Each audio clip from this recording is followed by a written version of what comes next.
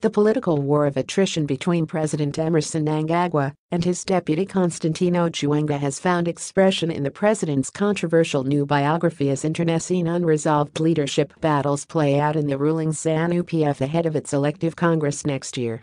This came as independent Norton MP Temba Mliswa has thrown the cat among pigeons through a public voice note message in which he disclosed that Mnangagwa's former advisor Chris Mutsvangwa, who is the leader of war veterans and a former minister, has been plotting to remove Chiwenga from his position.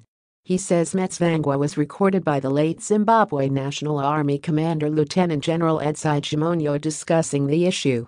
Mnangagwa and Chiwenga are fighting over the spoils of the November 2017 military coup that ousted the late former President Robert Mugabe. Chiwenga, who engineered the coup and put Mnangagwa in power, thought the president would serve only one term and hand over the reins of power to him in 2023 but that has been publicly rejected, fueling tensions and hostilities.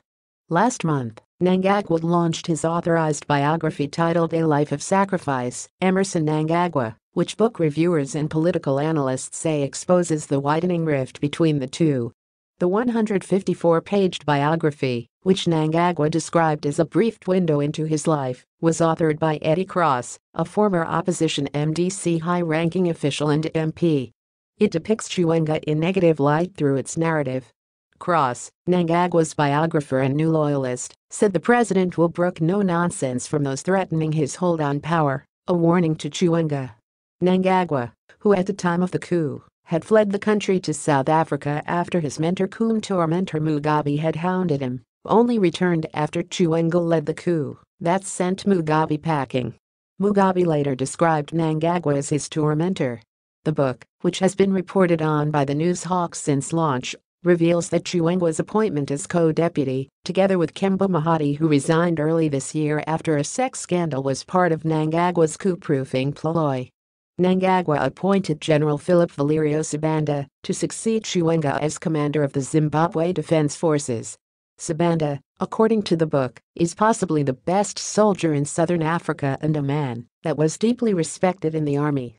Mnangagwa's actions drew little attention, but what the president was doing was closing the door on any possibility of the military-assisted transition military coup being repeated. He needed to know that the security services were led by men in whom he had confidence as professionals, the book says. Differences between Mnangagwa and Chiwenga played out when the latter demanded that a state of emergency, martial law, be declared during the 2019 riots which had been triggered by a 150% increase in the price of fuel. When it became known that a state visit to Russia was planned for the week beginning the 14th January 2019, disturbing intelligence was received that disturbances were planned, the book reads. The president consulted his security chiefs about the threat and gave instructions about what was to happen in his absence. The acting president, retired General Chiwenga, demanded that a state of emergency be declared and that martial law be introduced.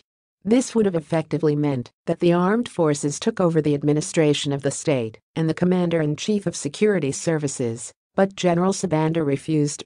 He said his orders from the president were very clear this suggests a new rift between Chiwenga and Sibanda, who seems to the president's man. Internet services were suspended during the protests after security forces were deployed to quell the disturbances. On Tuesday after Monday protests the country went back to normal, as if nothing had happened. What had happened was that the president had stamped his authority on the state.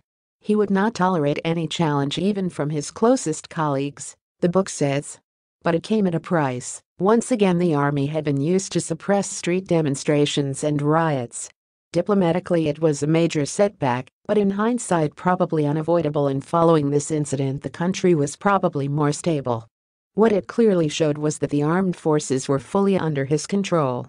The book also says government's push for political reform, a key requisite for re engagement with the international community, had been crippled by infighting within the ruling ZANU PF. Zimbabwe has since the turn of the millennium faced international isolation due to a chaotic land reform program, a checkered human rights record, and stolen elections. Only the United States government stated that until they saw real changes, they would maintain their sanctions on the Zimbabwe government and key stakeholders, In keeping with this, they extended the ZIDERA Zimbabwe Democracy and Economic Recovery Act legislation in 2019, it says.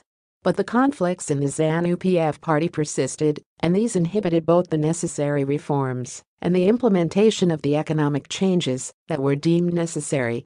This slowed progress and was worrying.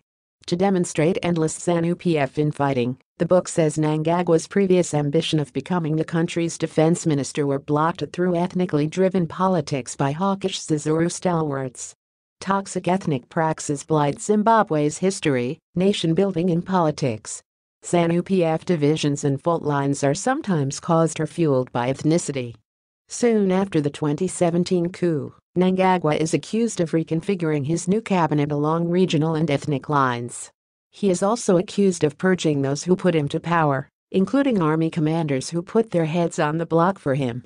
This has exacerbated internal strife between Mnangagwa and Chiwenga, and within ZANU-PF. Most recently, Mnangagwa and Chiwenga clashed over the appointment of the new Zimbabwe National Army Commander Lieutenant General David Sigauke to replace Chimonyo. Chiwenga wanted his political ally retired Lieutenant General Engelbert Rugeje to come in, but Mnangagwa preferred Sigauke. The two political heavyweights wrangling is likely to worse towards next year's Congress.